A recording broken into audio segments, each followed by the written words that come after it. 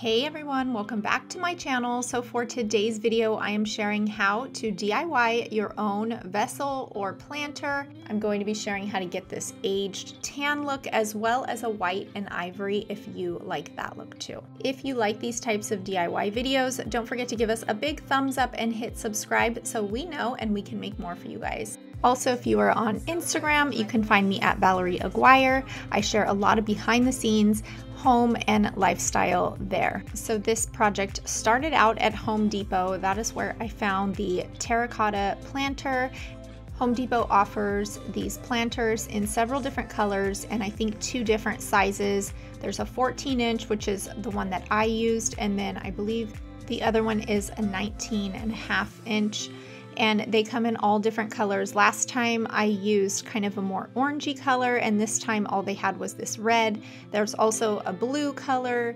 Um, the color doesn't really matter so it's just going to get covered up in my opinion anyway.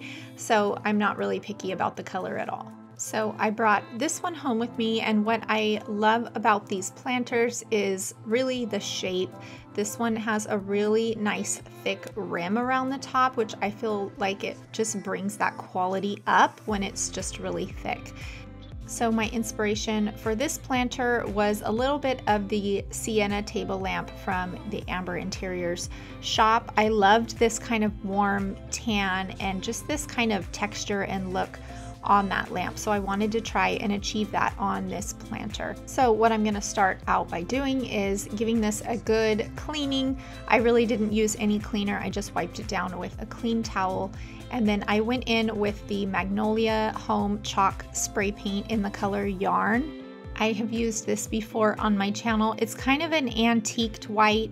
Um, I really think that you could get away with just using a white if that's what you have on hand. I have this one on hand, so I wanted to go with a little bit more antiqued white, but it really does just kind of look like a little bit brighter white, but it does have a little tinge of an antiqued white, which is what I like about this paint.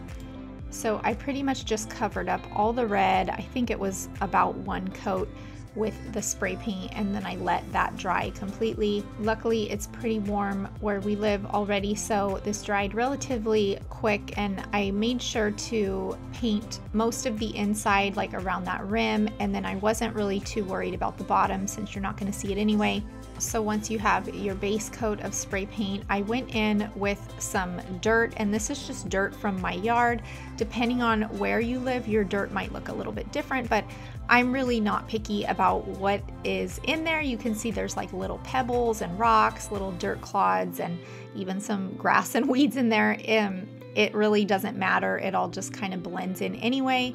So I'm going to take this and rub it all over this pot. And what you want to do is really work this dirt into all of those little cracks and crevices and all those little holes and you can see that definition really showing up once you start adding the dirt. I've also seen people use mud. I prefer kind of more the dirt technique, but you can also add a little bit of water. I've seen people try um, potting soil and different things like that, depending on where they where they live. Their dirt is not that great, so I've seen lots of different things. Just have fun with it.